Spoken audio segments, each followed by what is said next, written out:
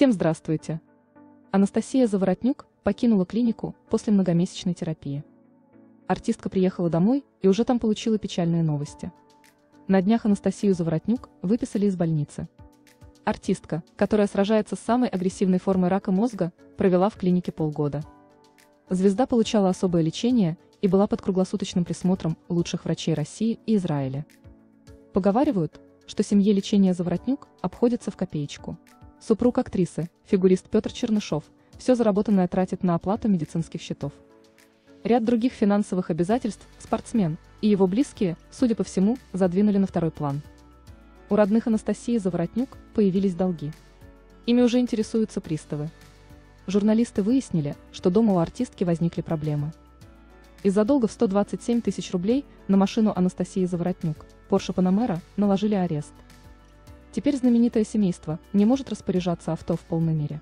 Пока задолженность не будет погашена, близкие не смогут его продать или подарить. Роскошный автомобиль, отметим, по бумагам принадлежит матери актрисы Валентине Борисовне. Анастасия Заворотнюк купила авто в 2014 году и оформила его на родительницу, которая, к слову, за руль не садится. Говорят, что у матери Заворотнюк большие долги по коммуналке.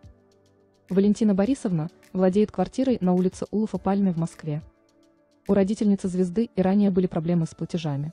В 2019-м с пенсионерки управляющая компания трясла 46 тысяч рублей. Если хозяйка и дальше будет игнорировать оплату, наступит реализация имущества.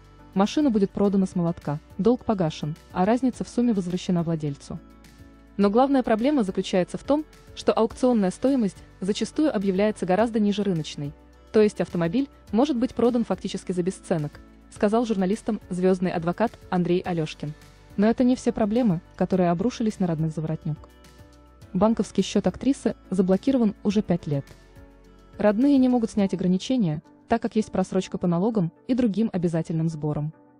А у нас на этом все, спасибо, что были с нами, ставьте лайки, комментируйте, подписывайтесь на канал, всем пока, пока. Thank you